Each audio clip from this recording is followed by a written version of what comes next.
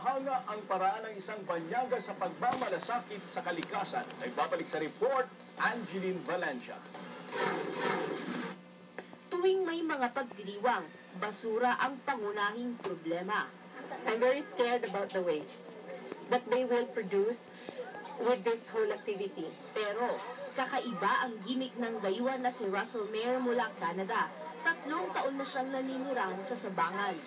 Tinagurian siyang basurero ng mga residente doon. Matyaga niyang binabaybay ang mga tindahan at humihingi ng mga 1.5 na litro ng soft drinks at mga plastic. Sinamantala rin niya ang pagkakataon na makapangolekta ng mga basura sa Itag Festival. Paraan daw niya ito para ipakita ang pagmamahal sa inang kalikasan. To end up one way or another into the rivers, into the forest, into the gardens, the farms here.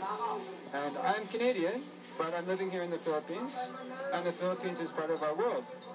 And it really hurts my heart to know that the garbage is going to be ending up in nature. Target niyang makaipon ng 4,000 plastic bottle para gawing silid-aralan ng ginaang elementary school sa Bontoc.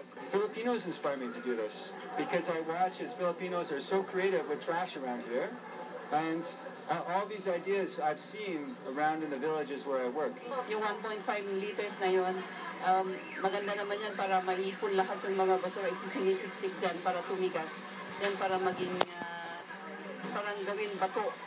Bukod sa pangungolekta ng basura, lumikha si Mayor ng wall painting sa isang restaurant sa Sagada. Ipinapakita rin dito ang mayamang kultura ng mga taga Cordillera. Kapalit nito ay libre niyang pagkain sa restaurant ng dalawang buwan.